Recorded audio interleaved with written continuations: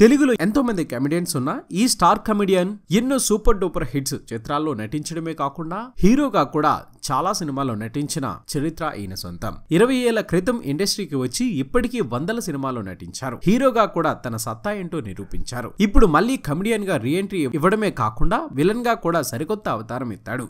ఇక చిన్నప్పటి నుంచి కూడా మెగాస్టార్ చిరంజీవి అంటే పిచ్చి ప్రాణం. అప్పట్లోనే చిరంజీవి పాటలకు డాన్సులు వేసి తనకంటూ ఒక ప్రత్యేక గుర్తింపును సంపాదించుకున్నారు.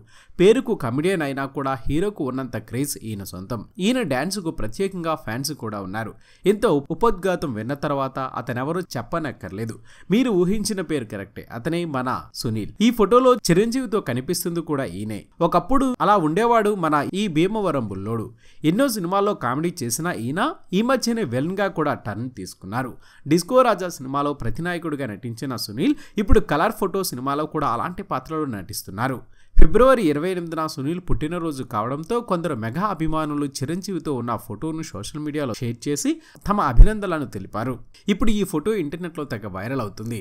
ఏది ఏమైనా అప్పట్లో సునీల్ ఎంతో అందంగా ఉన్నారు అంటూ అభిమానులు కామెంట్స్ పెడుతున్నారు. మరి మీకు కూడా ఈ వీడియో నచ్చినట్లయితే తప్పక లైక్ చేయండి షేర్ చేయండి మీ అభిప్రాయాన్ని కామెంట్ రూపంలో చెప్పండి. మన ఎస్వీఆర్ మీడియా యూట్యూబ్ ఛానల్ని సబ్స్క్రైబ్ చేయండి మమ్మల్ని ఆశీర్వదించండి. Please subscribe and thank you